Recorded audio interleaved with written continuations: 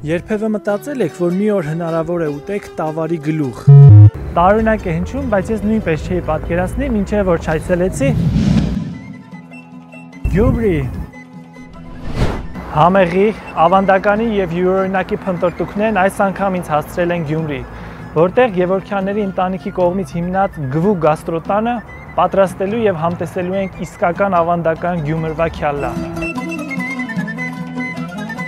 Քյալլա պատրաստելն այդքան էլ դժվար չէ, սակայն պատրաստման գաղտնիքներն ու հմտություններն հայտնի են միայն գյումրեցիներին, իսկ եփելու համար անհրաժեշտ է այ այսպիսի հատուկ փուռ։ Քյալան պատրաստում են տավարի կամ ոչխարի գլխից։ Նախ մշակվում եւ հեռացվում են պոզերը, իսկ հետո մտցնում փուռը, որտեղ եփում է շուրջ 7-8 ժամ։ Ասում են հնում այն եղել է աղքատների կերակուր, երբ մեծահարուստներին բաժին է հասել կենթանու մսի ամենալավ կտորները իսկ աղքատներին գլուխն ու ոտքերը,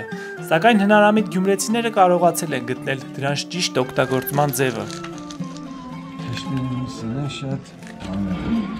Պարոն Համլետը պնդում է, որ քյալայի միսը 7 տարբեր համ ունի եւ խաշի պես սա էլ ուտում են հիմնականում ցուրտ եղանակին։ Դժվարն առաջին անգամն է։ Ուտես, կրկին կուզես։ Ինչում ես նույնպես համոզվեցի։ Հատ փոքրիկ է, հա։ Հա, նա փորձը շատ է։ Stop, stop. Հա։ Chipsy. Քյալին ռիսկով բդի մոդենաս։ Համ համը բանը ոնց որ սովորական միսը։ Շատ հա։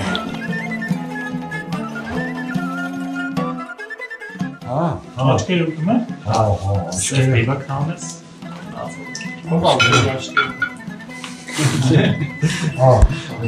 Աշկերն է, հա։ հադի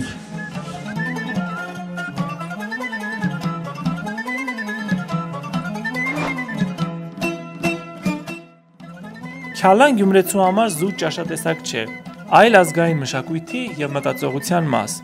ինչպես նաեւ առիթ հանդիպման եւ հաճելի ժամանցի համար։